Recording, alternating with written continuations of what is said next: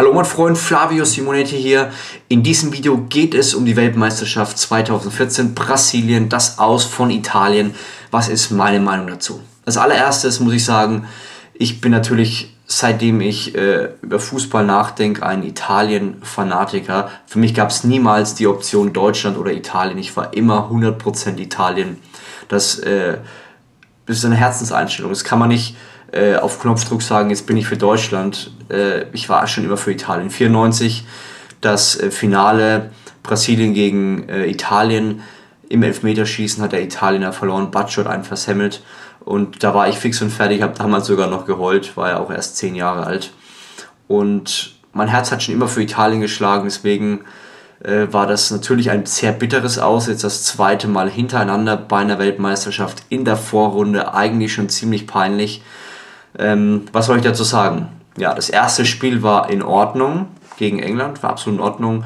Hat man auch ein, Spielweise war okay. Zweites Spiel gegen Costa Rica, das war ein richtiges Armutszeugnis. Ich habe mich eigentlich schon fast geschämt, obwohl ich ja für die Spielweise, egal ob die gut oder schlecht spielen, eigentlich gar nichts dafür kann, denn im Endeffekt bin ich ja nur Zuschauer. Aber es war wieder ein typisches Catenaccio-Spiel von hinten, eine fünfer Abwehrkette und dann breite, breites Mittelfeld und dann nur ein Stürmer. Dann haben sie am Schluss natürlich aufgemacht mit, mit vier Stürmern, aber die ganze Spielweise, die war absolut zum Kotzen.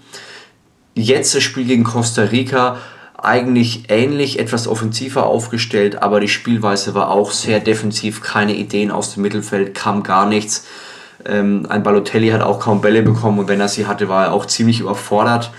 Deswegen muss ich sagen, äh, Italien ist grundsätzlich von diesen drei Spielen verdient rausgeflogen.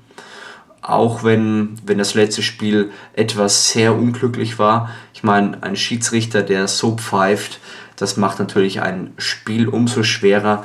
Eine gelbe Karte, wo dann eine rote folgt oder wo eine rote folgen sollte und nicht mal ähm, ein Freistoß folgt. Also ich weiß auch nicht, was ich dazu sagen soll. Der Schiri wurde zwar schon von der italienischen Presse vorher schon, äh, also die, die Presse hat, hat vorher schon gewarnt vor diesem Schiedsrichter, aber dass der so katastrophal pfeift, ist schade. Trotzdem glaube ich nicht.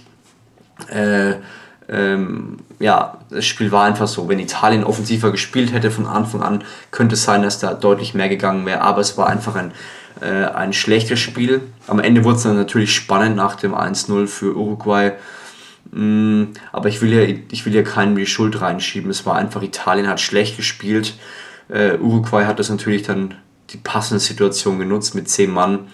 Wird das natürlich auch sehr viel einfacher und was soll ich sagen? Ich bin froh, dass Brandelli draußen ist, dass der Trainer gegangen ist. Ich will kein oder hoffe kein Catenaccio-Fußball mehr von Italien zu sehen. Natürlich eine starke Defensive, brauchen wir nicht drüber reden. Aber dieses schnelle Umschalten, das wünsche ich mir etwas mehr. Und ich hoffe, dass mit einem neuen Trainer wieder schönerer Fußball gespielt wird, dass da mehr geht, dass Italien seine Stärken ausarbeiten kann. Und ich bin auch eigentlich echt interessiert daran, dass sich irgendwas tut, dass sich die Alten vielleicht langsam verabschieden, dass neue Leute kommen, dass da eine starke Führungsperson im Mittelfeld reinkommt und dass da das italienische Spiel in zwei Jahren 2016 wieder schön attraktiv wird, in der Hoffnung, dass Italien Europameister wird. Das ist meine Meinung zu dem Aus von Italien. Wir sehen uns im nächsten Video wieder. Mach's gut. Bis dahin, dein Flavio Simonetti.